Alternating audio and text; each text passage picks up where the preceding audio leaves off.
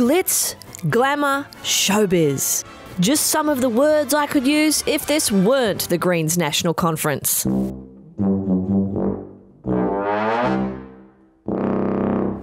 It's been a tough year for the Greens. The drop in the youth vote, the conflict with Lee Rhiannon, and the loss of two senators when it turned out they're about as Australian as a Kiwi in a Mountie outfit. The last election also saw the Greens go backwards in parliamentary representation for the first time since 1998. In fact, I don't think the Greens could have done any worse than if they'd gotten behind the wheel of a gas guzzling Humvee and accidentally backed over David Attenborough. So, to make sure the Greens don't celebrate anything here at their national conference, I've come down to Hobart to present them with some harsh truths and give them the kick up the arse they need if they want to make it as a political party in 2018. Welcome, welcome. It's going to be a big weekend. Just trying to get you like the other parties, you know. Help me, help you guys. It's all well and good having these hippie ideologies and a tattoo of Captain Planet spooning some kale, but things aren't always perfect.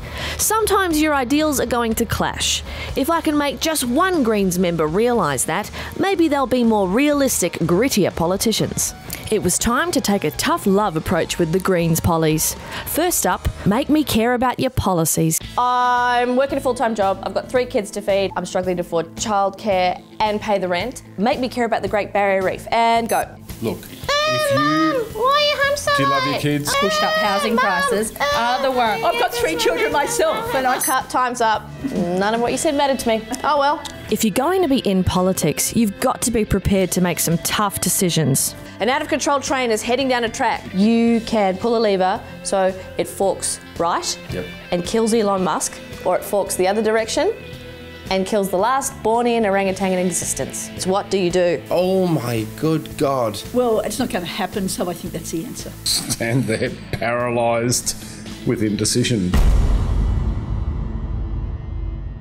To ever have real power, they'll have to give up on the moral high ground and make some low deals.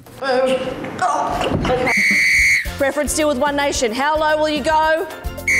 Accept donations from the Bolt report. Yep, yep, he's going low. Negotiate with the libs. Will you do it? Will you negotiate with them? Oh, nah, come on, pick up the game, guys. I was getting nowhere chatting to the punters. It was time to pay big dog Di Natale a visit.